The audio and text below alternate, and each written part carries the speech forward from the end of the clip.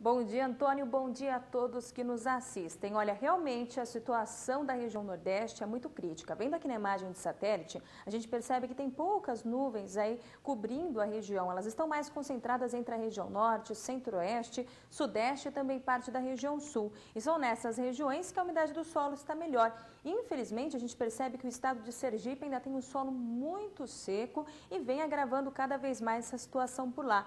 De uma maneira geral, grande parte do Mato Piba ainda tem esse solo mais seco, isso dificulta bastante, principalmente o crescimento das pastagens. Vemos que até o centro-oeste já está começando a perder um pouco mais de umidade. Mesmo com as chuvas continuando, elas já estão um pouco mais mal distribuídas. Na região sudeste, é principalmente o norte do estado de Minas, também Espírito Santo, que vem apresentando aí baixos índices de umidade do solo. Agora, na região sul, por conta dessas últimas chuvas terem sido mais volumosas, a umidade do solo foi bem recuperada no estado do Rio Grande do Sul e está boa nos demais estados. Agora, a expectativa é que para os próximos dias, infelizmente, a região Nordeste ainda não receba volume de chuva suficiente para reverter a umidade do solo. Vemos que esse solo por lá ainda vai continuar bem seco, quase não tem chuva significativa e o mesmo aqui para o estado do Tocantins. A região Centro-Oeste ainda recebe aí chuvas mal distribuídas e os maiores volumes acumulados vão ficar principalmente entre São Paulo, toda a metade sul de Minas Gerais e também grande parte da região sul e essas áreas mais escuras da região norte,